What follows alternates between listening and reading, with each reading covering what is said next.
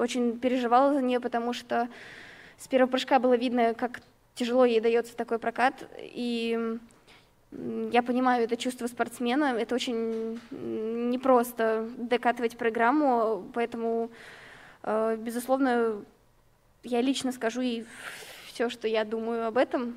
Вот. Ну, я рада, что будет награждение, что мы будем, э, мы получим медали. Я, правда, не знаю, когда еще пока. Вот. Э, конечно, будет очень приятно.